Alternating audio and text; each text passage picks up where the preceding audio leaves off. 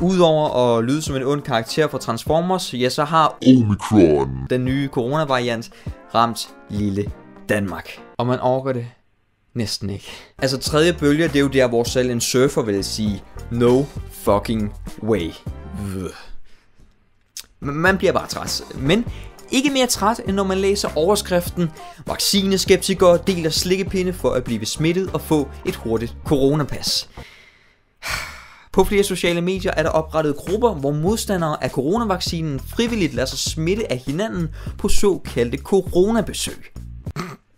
Ved at blive smittet med corona og efterfølgende blive rask efter virusinfektionen, opnår man nemlig et gyldigt coronapas, som gælder i 6 måneder. Okay, så det vil sige, at der lige nu sidder voksne mennesker rundt omkring i landet, højst sandsynligt flest i Randers, og sutter på den samme slikkepind for at få en virus, som vi har kæmpet med, alle sammen har kæmpet med de sidste to år.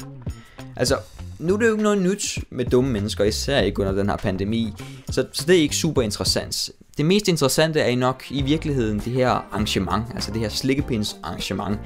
For altså, hvordan foregår det? Vi ved, det hele det starter i hvert fald i grupper på sociale medier, ikke? Historien om slikkepindsarrangementet. Hej, mit navn det er Sasha Sørensen med fire sætter og et ø, og jeg søger en mand eller kvinde med løbende næse og slimet svæl, der kunne tænke sig 1. At hoste mig i munden og lade mig slikke vedkommende skane i spåner 2. At lade mig, som en anden dig som støvsuger og med sugerør, suge en absurd stor mængde snot ud af først vedkommendes næse, og dernæst hele vejen op i det hulrum, som mennesker med bare lidt sympati og en IQ-borger kartoffel kalder en hjerne. Eller 3, og denne er at foretrække, at dele en slikkepind med mig, helst dem med jordbær, eller de der med blåbær og det sure indeni. Jeg, jeg, kan, jeg kan ikke så godt lide lakrids. Send PB hurtigst muligt, KH Sasha. Og så er der en, der kommenterer. Hej, mit navn er Bent. Jeg er ikke vaccineskeptiker, men det der med at blive slikket ganen lyder ret lækkert. Og her bliver Sasha i tvivl. For hvor meget værdighed er hun villig til at miste for at holde sin lille protest i live. Men heldigvis, så skriver Simone Skin, I'm ready, honey. og de aftaler at mødes. Men fordi både Sasha Sørensen og Simone Skin er spillet af den samme fyr, øh, som forresten er for doven til at filme på forskellige steder, ja, så befinder de sig allerede over for hinanden i samme lokale. Åh, oh, uh, hey.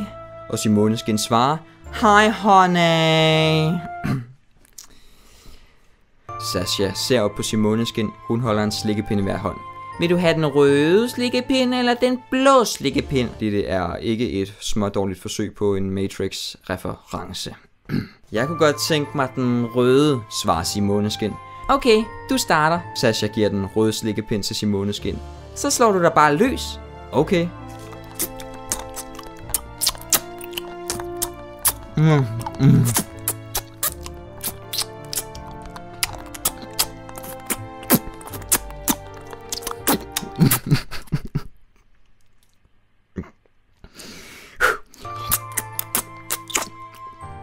Skal jeg, øh, skal jeg hoste på den også? Øhm, øh, ja, ja tak.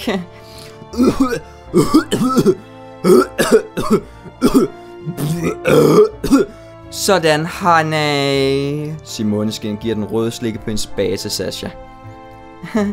tak for det. Og så går hun i gang.